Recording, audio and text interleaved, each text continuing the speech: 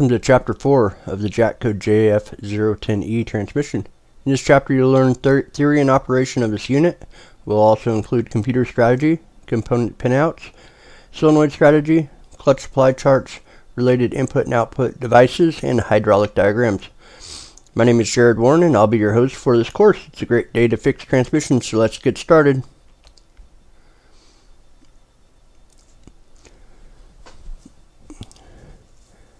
The JF010E has the following components.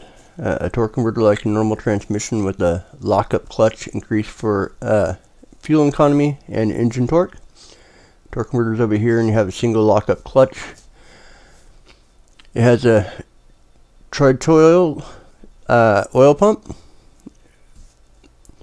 Oil pumps right here. Uh, the oil pump basically is a gear style oil pump.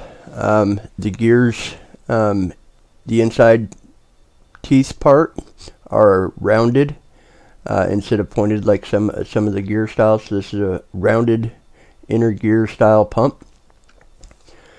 Has a uh, single planetary setup right here in the middle. Has a forward clutch um, right here in, in the middle of the transmission also. Has a reverse brake out here on the outside of the the case toward the center of the trans. We have a primary uh, pulley setup, the belt, secondary uh, pulley setup. Secondary pulley has an output gear on it here, powers the transfer gear, which powers the pinion gear, which powers the differential. The valve body and the solenoids uh, control the flow of oil and the operation, and the TCM uh, control module for the uh, control the input and outputs of the main system. So here we have basically a, a diagram of uh, what's all involved in this whole system. Here we have the TCM. Um, the TCM receives input from your secondary speed sensors, transmission range switch, primary speed sensors, um, the ROM and electro uh, electronic control valve body. Also receive signals through CAN bus on the ECM, the combination meter, ABS module, all-wheel drive control unit if it's all-wheel drive, and a, a, body control module.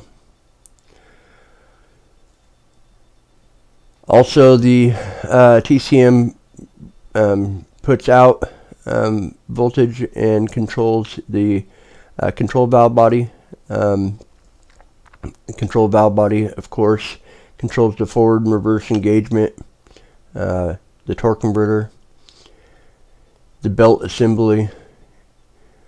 The final uh, belt assembly is uh, connected to the final drive assembly, to the differentials, and out to the wheel. This is just an overall um, uh, diagram of the whole system itself. One thing I like to bring up, do not overlook any other codes or issues before working on this transmission. What I mean by that is like your ABS code, wheel speed sensor codes, um, those kind of things, engine speed signals, uh, mass airflow sensor, throttle body codes, charging system. So this whole transmission is integrated into the whole car. So we got to look at the whole system, the whole car, before we start diag diagnosing this transmission.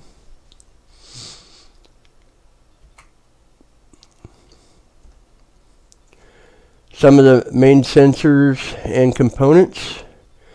In, inside the car we have your accelerator pedal position sensor. It's on the accelerator pedal itself.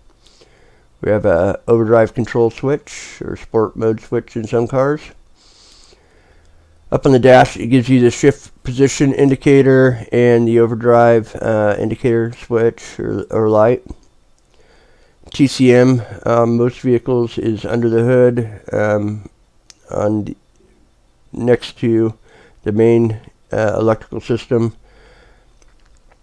Uh, on the uh, passenger side, uh, you'll see where the TCM is. The transmission itself, not too many sensors on the outside of this unit. We just have the secondary speed sensor or vehicle speed sensor up here on the top of the transmission. The range switch, primary speed sensor, stepper motor, secondary pressure solenoid valve, uh, line pressure solenoid, torque converter clutch solenoid, shift control uh, solenoid, the secondary uh, valve, manual valve, torque converter, lockup select solenoid valve, temperature sensor, secondary oil pressure sensor, and the ROM assembly is all inside this transmission, and main connectors are at the uh, CVT connector itself, the main harness. A lot of problems with that connector and harness right there, so uh, pay close attention to that connector. We're going to start going over some of the sensors that uh, control this transmission or give inputs to the TCM that controls the operation of the transmission. One is the mass airflow sensor. It's basically in the uh, intake air uh, tube. It measures the flow of air into the engine. Uh, this this is a major uh, engine load device that tells transmission how much throttle, how much, how hard the engine's working, and it controls uh, shift points or ratio change timing, and also uh, pressure to the transmission. So normal readings, uh, mass airflow sensor and idle uh, with the engine or with the key on, engine off, you're looking at basically 0.4 volts. Um, when the engine is running, you're looking around 0.9 to 1.2 volts. Some scan tools put it uh, grams to milliseconds, so 0.2 to 0.6 grams to milliseconds. When you're cruising 2500 RPMs, uh, you're looking at about 1.6 to 1.9 volts itself. So here we have um, from like a dead stop slight uh, acceleration um, we're starting out here just under 1 volt or around 1 volt and accelerating up and the voltage will increase. Uh, of course, it'll increase more throttle you give it or more um, engine load going up a hill. This voltage should increase because there's more air going through the engine. So this top graph is, is what a, a good look looking sensor uh, on the scan tool is going to look like. So if you, you see a flat line or you see very little change, like on this bottom graph here, you have a, a dirty mass airflow sensor or, or possibly uh, need to replace the mass airflow sensor.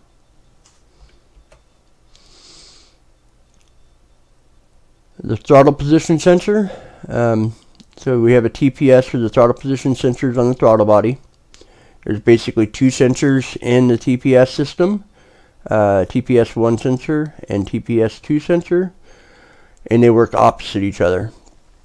So this basically is telling the computer the position of the throttle uh, blade or the throttle body, how far open or closed it is. So like on temp, uh, uh throttle pressure sensor 1, let's see here, sensor 1, it's going to start out at, at low voltage as the throttle is opened, sensor 1 voltage is going to go up. Sensor 2 voltage works just the opposite. It's going to be roughly um, 4.75 volts uh, closed and then when you give it full throttle the, the voltage is going is going to go down and you're going to be about 0.36 volts.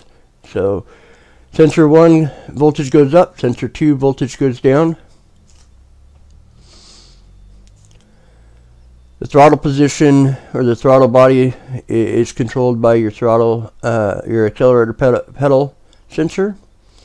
It's basically installed on the throttle, pedal itself.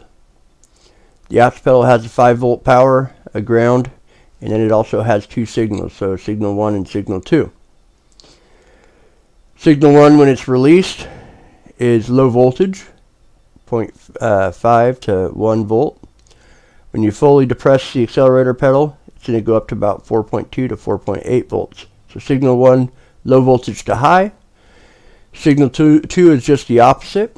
When it's released, um, it's 0.25 to 0.50 and then the voltage does go up so I should not say it's opposite like the uh, throttle position sensor but it does go the same direction it increases uh, voltage along with signal 1. So both, both signal 1 and both signal 2 are increasing voltage. Signal 2 increases voltage at a, at a lower voltage. So fully depressed it's uh, 2.0 to 2.5. Engine coolant temp temperature sensor. Uh, this is a important sensor. Let's say if the engine coolant temp is too low, you may not have any lockup, shift points, or ratio changes may be affected. So you also always need to check your engine coolant temperature sensor. So we got a graph here. If we're at 14 degrees Fahrenheit, the voltage is going to be 4.4 uh, volts, and ohms is going to be 7,000 to 11.4 thousand. As engine coolant temperature rises, see we get up to 194 degrees Fahrenheit, the voltage is, is going to decrease on the sensor, about 0.9 volts, and the resistance is, is going to decrease. So 0.236 to 0.260 is 194 um, degrees Fahrenheit. The ECM and TCM both use the sensor uh, for shift strategy. Engine oil temp. Um, it's an important sensor. It's not. It's used for engine load um, for the whole picture. It's not directly related to the transmission, but it can cause some issues, so we do need to make sure the engine oil temperature sensor is not reading out of range.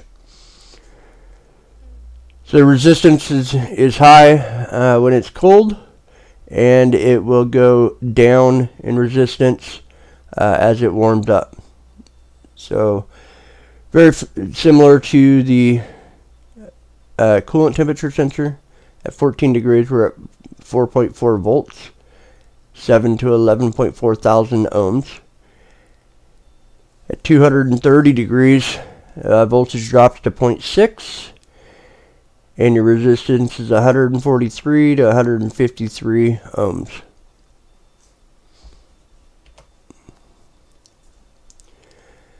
The air, air intake uh, temperature sensor is built into your mass airflow sensor. The resistance is high when it's cold and the graph goes down when it warms up. So at 77 degrees, you're looking at about 3.3 volts. The resistance is 1.8 to 2.2 uh, ohms. Around 176 degrees or so, the voltage is going to be 1.2 volts, and your your ohms is going to be 283 to 359 uh, ohms.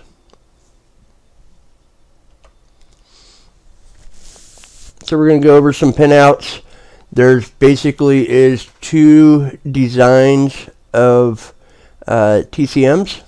So I'm, on this, I'm going to have a design one uh, on a lot of these pages and design two.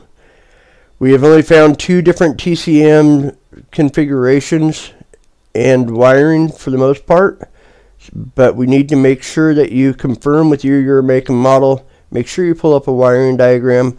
Don't use all these graphs as 100% correct because there may be some different models uh, that may change some pin locations around. But this is what we have found for the majority of these two different types TCMs. Looking into your transmission case connector, this is actually you pull the case connector off the transmission and you're looking into the connector going to the transmission itself. This can be quite confusing as you see they have no pattern. Um, they don't count, count the pins straight across or anything like that. So what I mean by this, you don't see one, two, three, four, five on the bottom row or anything.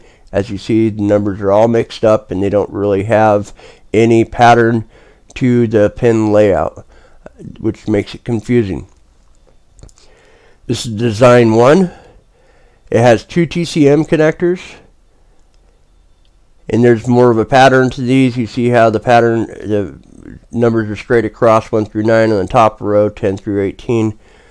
and 19 through 24 on the bottom. So at least they gave us some kind of pattern to make it easier to find for the TCM connectors. Over here on the chart, trans pin, trans pin number. This is the trans connector right here that we're talking about. TCM pin number. This is the pin number on the uh, TCM, these two connectors here.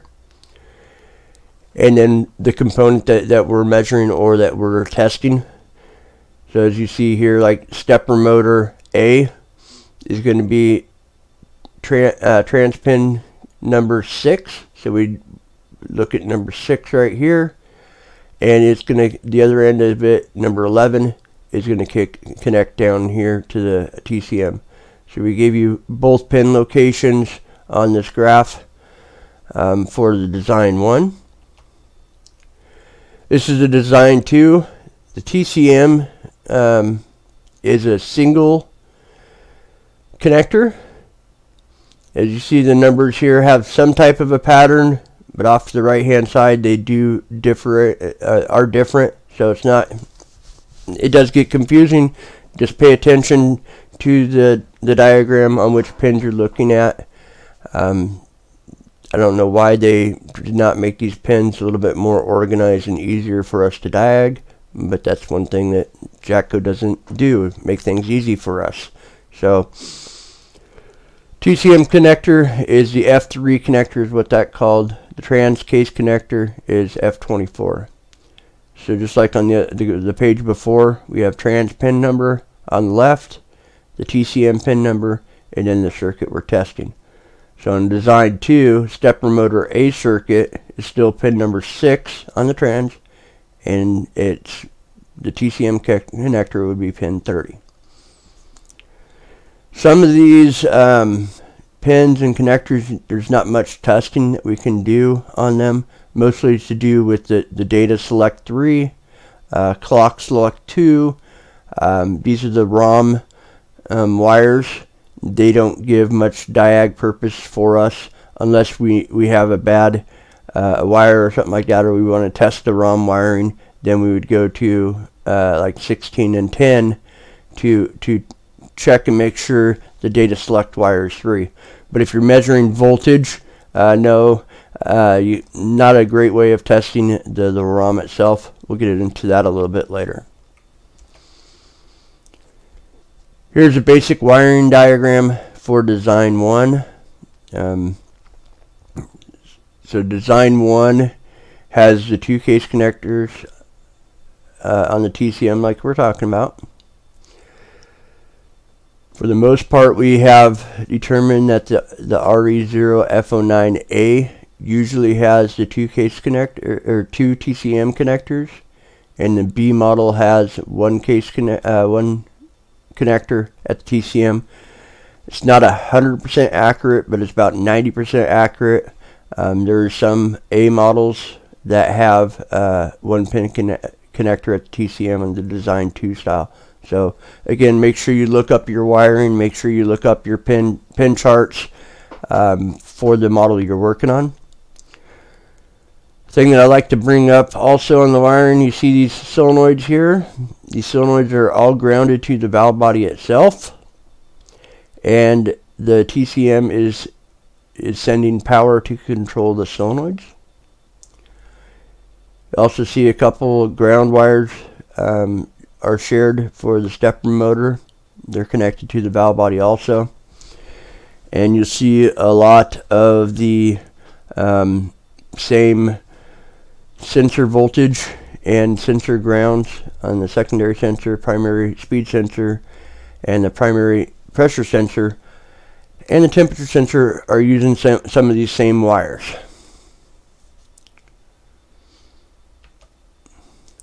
This is the design 2. Um, same thing, the grounds for the TCM, or the, excuse me, the solenoids. Um, TCM is sending power. Same grounds are used on the stepper motor, shared to the range switch, same along with the same speed sensors and pressure uh, switches. They're also using some uh, shared grounds and some shared powers here. This is the design 2 wiring. as I'm going through uh, theory operations and some of these pinouts, I'm going to talk about uh, design 1, design 2, so it's going to get kind of a little confusing. I tried to break this up to, to make it simple as possible. A lot of my charts here, you got your sensor pins. These sensor pins are at the sensor itself. So pin 1 is 5 volts, pin 2 is signal, pin 3 is ground. So I've labeled these sensors and broke out each connector uh, to make it easier for us to test. Most of the time you're not going to be test testing uh, the pressure switch and stuff voltage inside the trans right here. You're not going to be back probing that. But if you need to, you can. Uh, these pin connector views are mostly for the bench. So if you wanted to put 5 volts to pin 1, ground on pin 3, vary your pressure and check your signal to see if your switch is working correctly before you install the transmissions. It is a good idea to do if you're having sensor uh, issues. Trans connector pins is just that. The case connector, design 1 design 2 are the same. Uh, design 1 TCM pins are here. Design 2 TCM pins are here. So pressure sensor B is located right next to the uh, connector on the inside of the transmission here. Pressure sensor B is uh, the primary pressure sensor. It measures the primary oil pressure to the sensor. It's a Hall effect uh, sensor. Has 5 volts going to pin 1, ground on pin 3, and the signal wire changes voltage as pressure changes. So at an idle in gear, uh, at an idle and neutral, you're going to be looking at about 0.7 to 1.2 volts uh, on the sensor. And if you turn key off, or the engine off, key on, you're going to have about 0.2 volts on this uh, pressure sensor B. And max, max pressure voltage is 4.5 volts is max pressure and max voltage. So if you are getting a pressure sensor uh, circuit code, you'll want to turn the key off, then turn the key back on, engine off. See what your voltage is there. You should have about 0.2 volts. Start it up, see if your voltage goes up to about 0.7 to 1.2 volts. That's going to tell us if the switch is actually working or not. But it will set a code if voltage is outside of these conditions.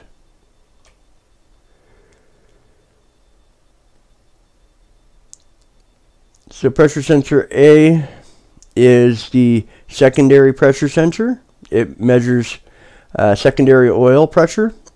Same type of sensor, same sensor as pressure sensor B. Has a 5 volt power, pin 1, ground, pin 3, and the voltage changes. Normal voltage is about 0.8 volts in neutral at an idle. Same testing with the engine off here about 0.2. Max max amount of voltage that you'll ever see is uh, 4.5 volts. And again, here's the uh, inside on the sensor itself. Pins trans connector pins, design 1 and 2 pins. So this is using Shop uh, Stream Connect. I saved a movie and uh, brought it over to PowerPoint here. This is what your scan tool is going to look like. I'm graphing out um, your primary uh, pressure sensor and your secondary uh, pressure sensor. So right here, we're dead stop, and then we're starting to accelerate. As you see, the graphs are not going to be exactly the same between the primary and secondary because oil pressure and gear ratios are changing. But as you see, this is a, a normal uh, pressure reading. So at a stop, your uh, primary pressure sensor voltage was 0.86 volts. You take off and the engine load and pressure increases and then it starts to slow down when you, when you are cruising so what what the main point here is is when the engine load is higher when we're starting to take off and accelerate here you see the voltage going up inc increasing the pressure as the car gets up to speed and you're just cruising, the voltage starts to drop down. Um, secondary, the same thing. This also is to do with the ratio change when with the change of pressures. Your ROM, the read-only memory. A lot of people say that you should keep the ROM with the original vehicle. So if you have a, a vehicle come in, you elect to put a used transmission in it or buy a reman unit. Um, a lot of people say take the ROM out of your original transmission and put it into the, the unit you're putting into that. That will save you a little bit of time of reinitializing the ROM. But I do have to add, if you pull the pan off some of these reman company transmissions or dealer units, they may void your warranty. Um, also, you need to show programming is done on a lot of the reman units. I know Chrysler um, and Nissan will both void the warranty if you can't show proof of not reprogramming this transmission. I've also heard of some of the um, auto records like LKQ. I've heard that they require programming on these also or they'll void their warranty. So here's your ROM pins, five um, pins one through five. The connector actually has six uh, spots, but there's only five pins. Here's your trans pins connector here, and then TCMs for um, TCM connector on the design one. So ROM pin number one, trans pin connector number 20, and TCM connector 46 should all have 5 volts on them. No testing we can do on, on the select 1, 2, and 3 solenoids unless we are doing an ohms or checking the, the wire itself from the TCM to the ROM to make sure there's no breaks um, or shorted to ground or something like that. And pin 5 is your ground. So here's design 2. I'm not going to go over everything again. It's basically everything exactly the same. The only thing changes is this column right here, TCM pin number. Since this is design 2, the TCM pins changed. Everything else is the same. Here's the ROM location. It is right here underneath the valve body, right on top of the uh, range uh, sensor. And this is here is your range sensor. This end here is connecting into the manual valve itself. Also has a temp sensor built into the range sensor. Range switch connectors. There's a seven pin, seven wires on the range switch.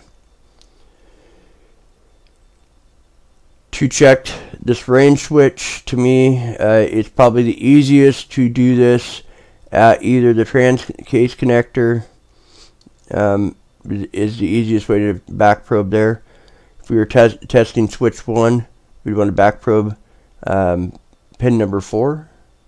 So let's see, number 4, we back probe this wire here. And then we'd want to move your shifter from park. It's going to be off. Uh, go to voltage in reverse. So you're going to see a voltage change from park to reverse and then you'll see another voltage change when you go from drive to low. Do that on each switch. So move, so move your back probe over to pin 5 to test switch number 2. And you're going to see a voltage change from reverse to neutral on this one. And then neutral drive and low are all going to be seen.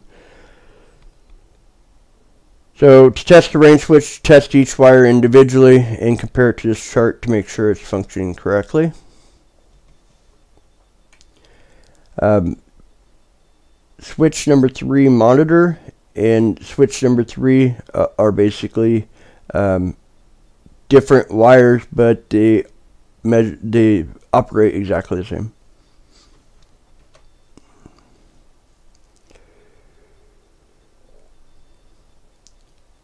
So the temperature sensor, um, one thing when you're dealing with cores or you're changing um, valve body, that kind of thing, your temperature sensor is different between design 1 and design 2. They don't have a certain cutoff date, but you're going to want to make sure you get the correct te uh, temp sensor or range switch. So the design one that has the two the two TCM connectors. Um, here's your pin numbers in the uh, trans case connectors, pin 17 and 19. The difference here is your ohms. Um, 68 degrees Fahrenheit, you have 2.5 uh, thousand ohms. In the design 2, the late temperature sensor at 68 degrees Fahrenheit, you have 6.5 thousand ohms. Back over to temperature sensor 1, the early temp sensor, you have 300 ohms at 176 degrees. And then on the late design, 176 degrees is 900 ohms. So if you use the wrong temp sensor, you're going to definitely get an issue uh, with temperature sensor readings, overheating problems, those kind of conditions. So keep in mind there are uh, two different temperature sensor readings. The range switch itself act act the same on both. Here's our temperature sensor graphed out. So as you see, as the voltage is high, and as transmission temperature increases, our voltage is going down. And on the bottom here we have Fahrenheit. So here we started out about 80 degrees Fahrenheit and we ended up about 185 degrees. As you see, degrees goes up. Eh, the, the graph for the voltage is just the opposite. Back up here one bit. One thing I'd like to say about the temperature sensor um, a lot of the scan tools have temperature sensor reading problems. They don't read correctly on the scan tool. So if you get an overheat temperature, let's say uh, 260 degrees or something along those lines, make sure you use a, a temperature probe and see actually what the trans temps itself is. Um, have found a lot of issues with the PIDs on the Snap-on scan tools for temperatures not reading correctly. Some of the testing that we we do, they're going to ask for um, temp count or tell you to warm up the transmission to a certain temperature count before you start doing some of the testing. So what we have here is your, your ATF temp count as seen, as seen on the scan tool. So let's say your ATF temp count 64 uh, is going to be equal to 86 degrees Fahrenheit. Um, a lot of the diag will say the temperature needs to be between, let's say, like a 124 temp count and um, uh, 69. So as you look on this graph, 124 is 140 degrees, and then 169 temp count equals 185 degrees. So basically, use this chart um, if you don't know, uh, if your scan tool doesn't have the temp counts on it, uh, you can still go and find out what temperature it needs to be between those counts and, and if your scan tool is reading the temperature you can cross this over to make sure you're within that uh, certain parameter.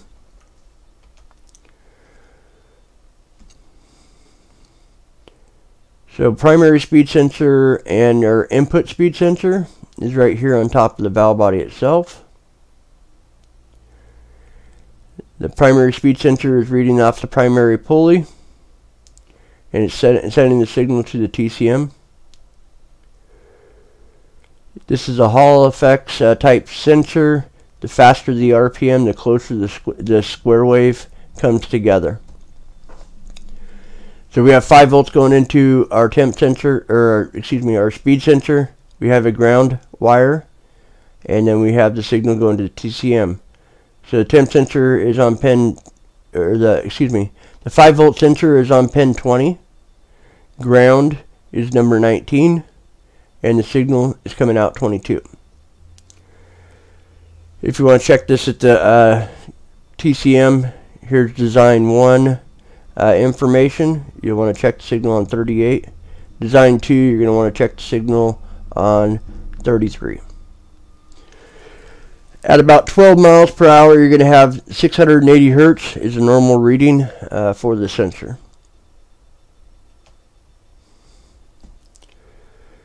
Vehicle speed sensor or secondary speed sensor is located on the outside of the transmission here on the top. Needed to pay close attention. Some of these sensors have a spacer underneath the sensor right here. So if you're changing the sensor or your R&R guy pulls out the sensor, make sure he takes note uh, if there's a, a spacer or not underneath it. testing this is, is basically the same. You have a ground, uh, a ground, and you have battery voltage um, for the sensor. The other sensor is 5 volt, but this one is operated off battery. That's about the only difference. And at 12 miles per hour, you should have about 350 hertz.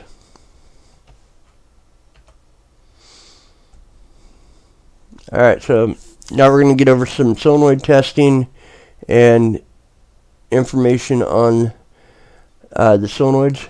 First we're going to do the pressure control solenoid. It's right here on the corner of the valve body. Pressure control solenoid is grounded. There's a couple ground wires right here. Uh, right here on the valve body. And I believe there's one more right here. So I think there's three locations on the valve body where sensors are grounded. So we need to make sure those bolts are tight, so those wires are in good condition and don't break when you tighten the bolt. So pressure pressure control solenoid A, we'd want to check pins 2. So pin 2 right here on the case connector, and then ground to the valve body somewhere with your other end of your meter. You should have 3.9 ohms. Pressure control solenoid A, um, when the solenoid is off, the solenoid regulator oil is going over to the pressure pressure regulator valve, and that is giving you maximum pressure. When duty cycle increases, um, it's closing off the oil to the pressure regulator valve. A couple different designs of solenoids. Here on the bottom right, this is the first style of solenoid. Has this black nipple on the end. And here's the top view of the second design. This valve body that I'm working on is a 2010 Nissan Murano. So it's the second design.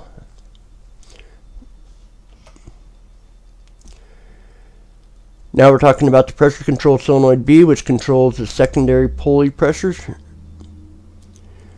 Same type of solenoid, pressure uh, with no electrical or no command. Oil is going to your pressure regulator valve. As the solenoid ramps up, it's closing the, the valve inside the solenoid and it lowers or closes the oil off the tip here of the solenoid. Again, a couple different styles of solenoids, same as the other one that we talked about. Here's the location of your pressure control solenoid B on the left. It's the second one over. To test the ohm through the case connector, you'd use pin 3, and you should have 3.9 ohms.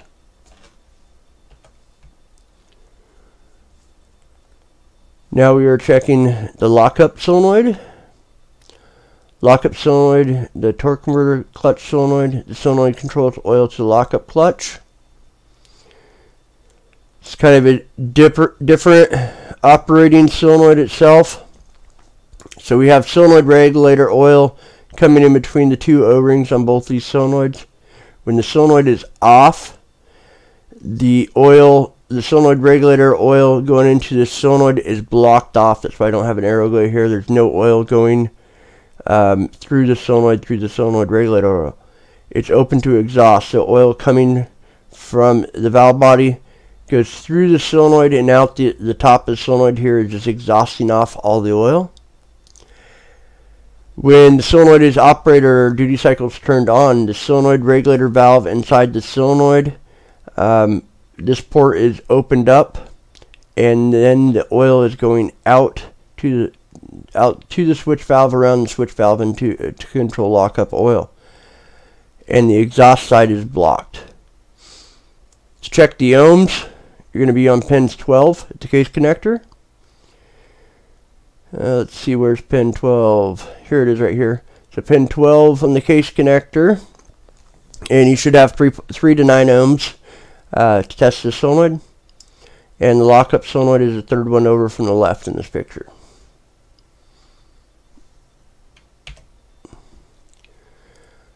Alright, now we're dealing with the lockup solenoid. select solenoid. So this has two different purposes. It controls lockup and the select solenoid. Um, the lockup solenoid uh, controls forward and reverse engagement feel and torque converter engagements. Uh, does this by moving the switch valve position. This is a normally closed solenoid. It's an on-off style solenoid. So we have solenoid regulator oil going into the tip of the solenoid and when the solenoid is off there's no flow going out of the solenoid. So it's basically closed off. When the solenoid is turned on, solenoid regulator goes through the tip and comes outside here and goes to the switch valve and moves the switch valve. Lockup select solenoid is the one all the way to the right in this picture. And to check it electrically, it'd be at pin 13 and you should have 6 to 19 ohms.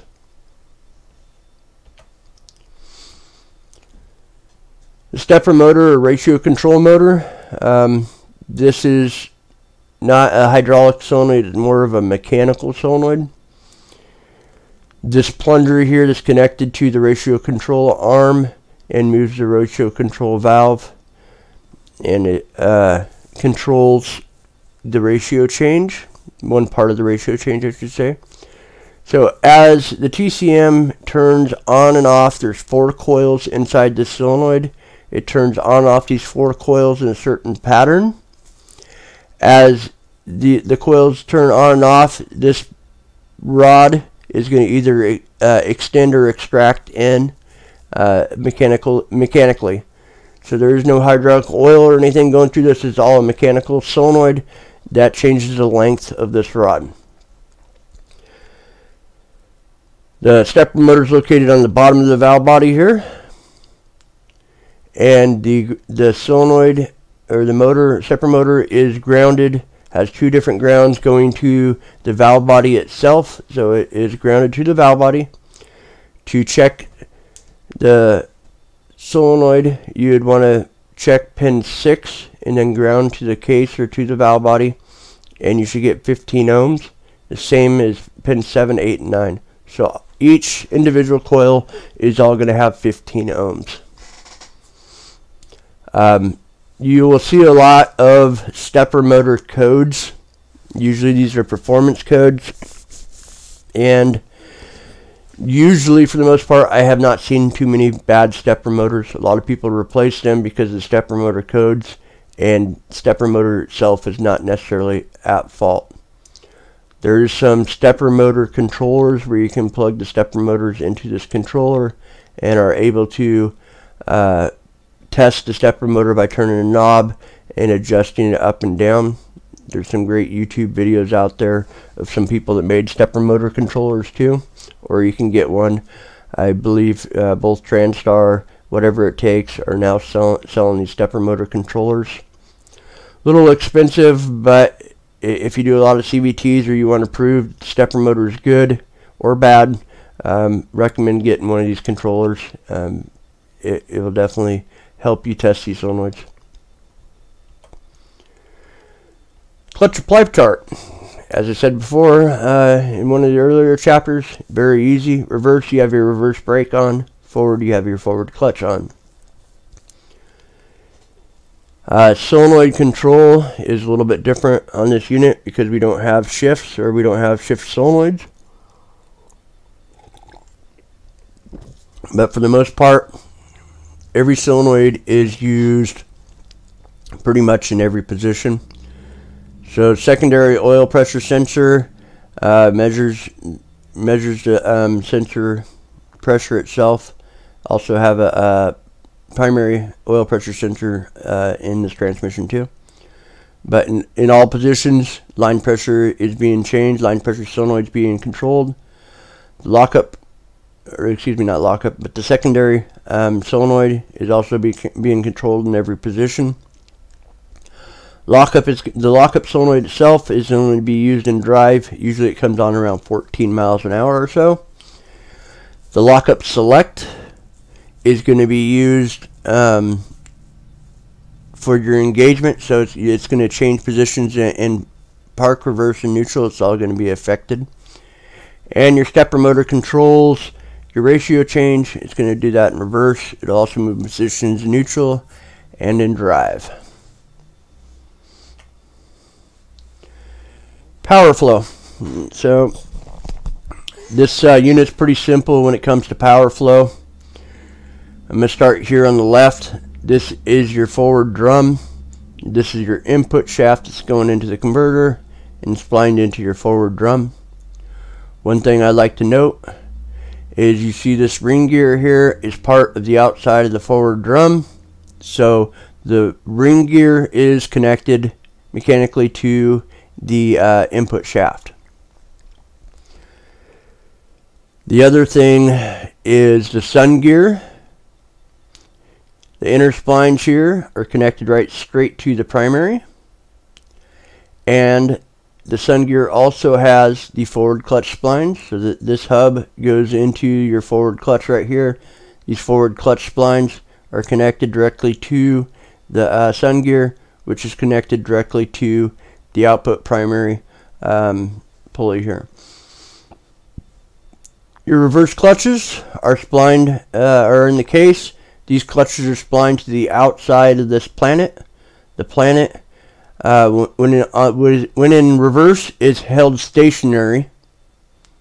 Um, in reverse and basically your your ring gear is rotating the small gears. The small gears are rotating the sun gear in the opposite direction. The sun gear is connected to your your pulley.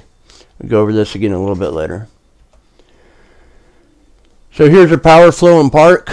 Um, in park we have our park pawl it's locked to the uh, on the um, secondary pulley is where the park gear is and it is mechanically held in park. We have here's the reverse clutches those are off and your forward clutches are off. Input shaft is turning nothing's connected here because both clutches are off. Vehicle's not able to move or anything like that. So in reverse over here on the right hand side is our input. Input shaft is turning. Input shaft turns the ring gear, which is right here on both sides, which is part of the forward drum itself. So this ring gear is turning. Right here is the pinion gear, so it's turning the smaller pinion gear. Your reverse clutch is is on, so this whole reverse, this whole planet housing is not moving. So that forces the ring gear turn the small gear. The small gear cannot rotate uh, inside the transmission, but it is rotating, making your sun gear move the off opposite direction. Sun gear spline to your pulley, pulley to the belt, out to the transfer gear and differential, and we're in the reverse position. Neutral, park pawl is not disconnected, the vehicle is able to roll. We still have no forward and reverse uh, clutches are not on. So it's into uh, a floating mode. The input shaft is turning and the gear set is floating. It may be rotating because of the drag, but nothing is applied, so there's no power flow in, in neutral.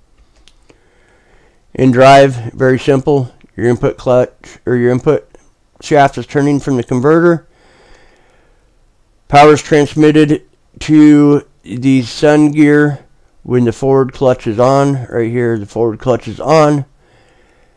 Forward clutch is splined to the sun gear directly so we have basically one solid mass turning the input clutch forward hub is turning the sun gear sun gear is connected to the pulley the pulley is turning the belt belt is sending power out the other pulley to the transfer gear and out to the wheels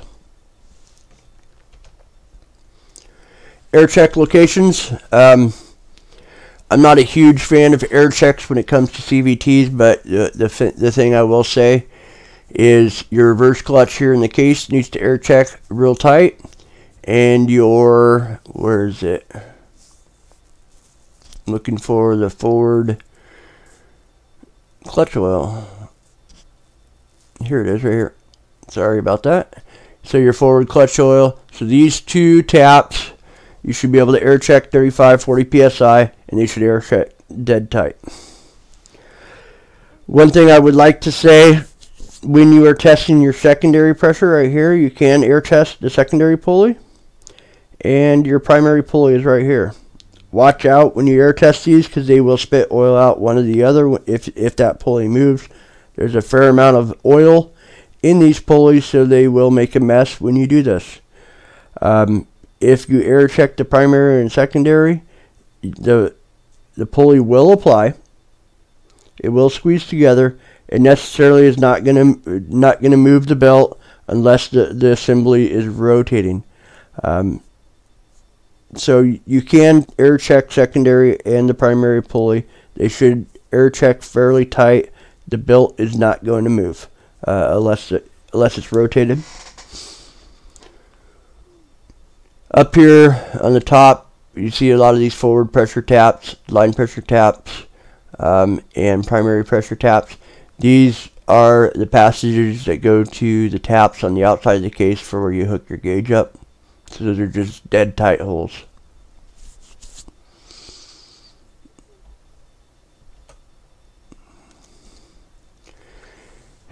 Already kind of discussed this, but I brought this back up again. Here's our uh, solenoid firing chart or solenoid chart. Um, basically, lockup is going to come in around 14 miles an hour. Your lockup and your select solenoids are used for your engagements also. So they're, they're going to be used in park reverse and neutral. Stepper motor is used for ratio change. Um, so it's going to change ratios in reverse and drive. Line pressure sensor and secondary, or line pressure solenoid and uh, secondary pressure solenoid uh, is used at all times to keep this belt from slipping and it helps change ratio also. And here's just a, a quick breakout of all the solenoids, ohm resistance, and your case connector. Um, design 1 and design 2 are the same um, at the case connector. We pretty much went over this already in solenoid operation. Uh, I was going to kind of do this separate, but I did it all on the first slide. So this is a PWM solenoid. When solenoid's off, uh, oil is going right directly to your pressure regulator valve. When the solenoid is cycled on, it basically closes off oil going to the pressure regulator and exhausts out the solenoid itself. Again, there's two types of solenoids. Um, I would not interchange the solenoids, but uh, this is the, the first design. Second design it looks like this here on the on the left. Pressure control solenoid B uh, controls secondary uh, oil pressure. Solenoid uh, regulating oil is going in between the pulley or in in between the O-rings here. When it is off, oil is going straight to the pressure regulator valve. When it's on, uh, the oil is closed off going to the pressure regulator valve and oil is exhausted out the solenoid here. Same as the other solenoid, there's two different types of solenoid. One has a nipple on the back, the other one's flat.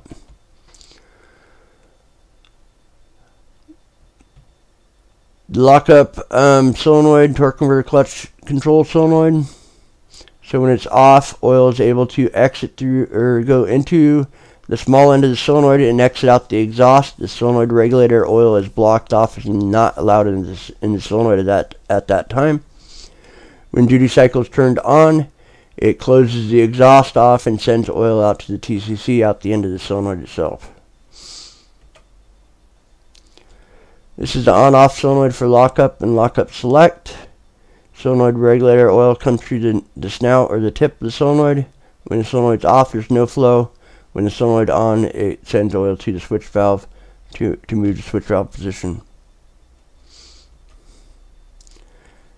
Stepper motor, um, we discussed this a little bit earlier already, has four coils on and off. Uh, the computer turns the four coils on and off in a certain pattern to get this plunger to move in and out to change the ratios. Each coil should me measure 15 ohms. Uh, exploded view of the valve body. Here's the lower section of the valve body. There's a small valve body plate here. There's no filters, no small parts in the section of the valve body. Here's your TCC limit valve. You want to check this bore, make sure it is in good shape. The numbers here are the spring size numbers. So we have the length of the spring, Then we have the uh, width of the spring and the size of the spring wire. Primary regulator valve, you want to definitely check this um, valve for wear along with the secondary regulator valve. These two I have seen wear. Um, the coating comes off, the valve bore itself will wear. There's some aftermarket um, reamers uh, to change uh, these two valves also. Here's in the middle valve body. Um, on the main valve body check on this section is your solenoid regulator valve. Make sure you pull this out and check the solenoid regulator valve bore. Uh, it likes to wear out uh, very quickly. The other one is the secondary primary control. Make sure you check this valve. It, it's another highly worn uh, valve. We have two screens. This little flat screen here goes in the groove. And then we have this little uh, square screen. It Has a little peg here with a, it's a, a, spring basically, so it keeps it tight down. Uh, the the uh, spring side goes up towards to the plate itself. Um, this lockup control plunger, I almost forgot. This lockup control plunger, make sure you take this little tiny valve out of this, this boost valve assembly. Make sure this valve is free. Make sure that this uh, plunger is not worn. Uh, I have seen some lockup issues because that plunger is completely stuck. So you want to take every valve out of this valve body and make sure they're all free. Um, I don't do that to every transmission, but this is one one valve body that I completely disassemble, pull every val valve out and clean. These uh, CVTs like to put out like a black resin or a black material that loves to get in these valves and, and to hang them up. So this is the um, top side of the valve body that ha uh, houses all the solenoids. I forgot one thing on the last slide. Let me go back here. Sorry about that. There are four check balls in this valve body. Uh, here's the location of the two here and the two here. These are used for uh, clutch apply in forward and reverse. Sorry about that. Now back to the top section of the valve body. We have a lube valve, a little blow off valve here, spring down first, little plastic insert on the top. Ratio control valve, this spring here in the ratio control valve is very tiny uh, or very thin very easy to miss or misplace when you pull the valve body off. It'll pop this valve out and a lot of times that ratio spring will get missing. Here's the sizes of that spring, but just pay attention. That spring is easy to misplace. Um, have not seen any ratio control valves with not without a spring. So if you get one that does not have the spring, somebody else has misplaced it before you or you have lost it has the filter in uh, this uh, separator plate here. The opening goes to the separator plate. Secondary pressure switch or sensor A is here on the valve body itself. Of course we have all of our solenoids and the wiring goes on the top of the valve body here. Let's talk about the steel belt. This steel belt has all these elements like this. I'm going to guess roughly around 400 elements or so per belt. They are stacked uh, up and held together by um, steel rings. So these steel rings go in the slots here and keep this belt uh, all together. Each one of these steel rings usually has six uh, or more uh, steel rings that are all individually different size. So you have six rings or more per uh, side here. So you're going to have like have 12 steel rings. They are all different sizes. If this belt comes apart, just buy a new belt for the most part. You can get them back together, but each one of these steel rings are a different size. All these elements have to go in a certain direction.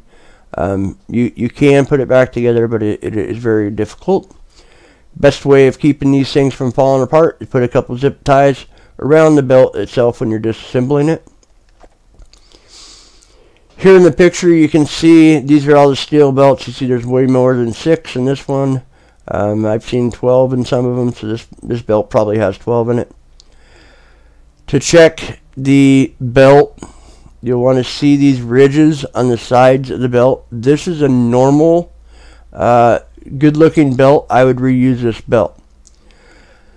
When you start seeing metal piling up or these wear mark or these uh, grooves uh, go go thin or missing or um, you know is is smooth, your belt's worn. You definitely need to replace it. So this is a push belt. What it means basically is uh, the primary pulley is squeezing on the on both sides of the belt here, and as it rotates, it pushes the belt across to the next pulley.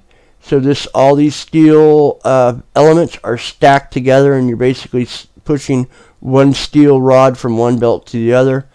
Uh, there is some slack on the back side of the belt, um, which is normal, and that that's why these these belts have the bands is to keep all these things lined up together. Here's our um, our pulleys. The pulleys themselves, primary pulley. Uh, primary oil pressure is controlled by the TCM using the primary pressure solenoid, the ratio control valve, and the stepper motor all regulate the pressure uh, going into the primary pulley. It squeezes on the belt and also changes pressure uh, for ratio change. So how this basically works, this, this left side of this uh, picture here is low, low gear position as you see the belt's far in. When it goes to the higher ratios, the belt is squeezed in, or the pulley squeezed together, and the belt will will right will push itself out.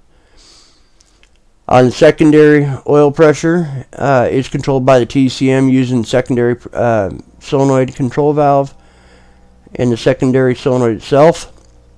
So you have secondary oil coming down through here and it is squeezing the belt or the pulley together onto the belt.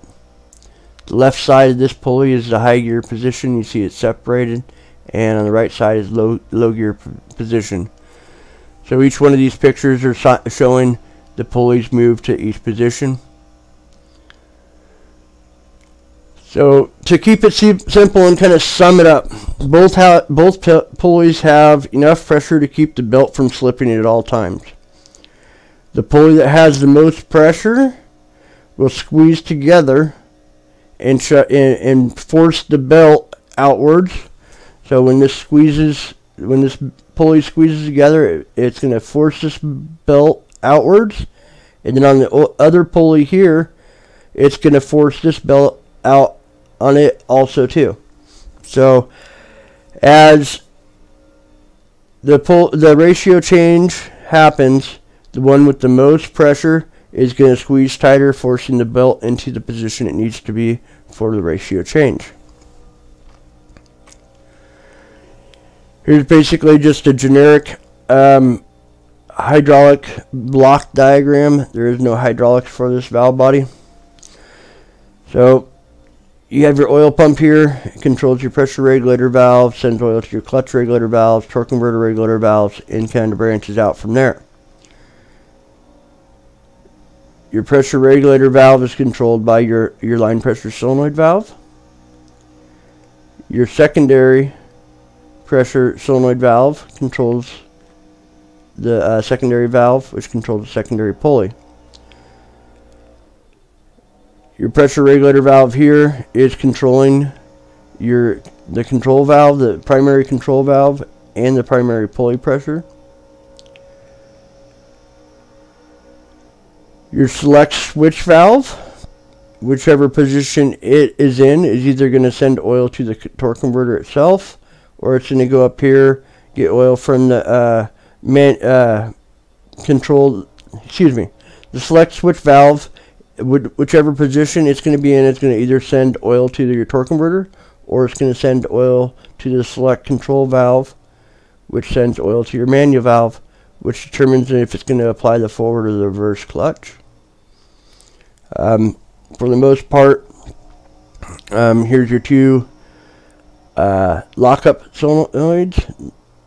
So you have your lockup select solenoid here, it is controlling which position the switch valve is in, determining if it's going to go to the forward and reverse clutch or to the torque converter clutch. The torque converter clutch solenoid sends oil through the switch valve basically. It doesn't move this valve, but it sends oil through the valve and goes over to the torque converter. So this is basically showing how everything kind of intertwines together, which solenoid is controlling which valve, which valve's controlling which, which pulley or clutch, that kind of thing.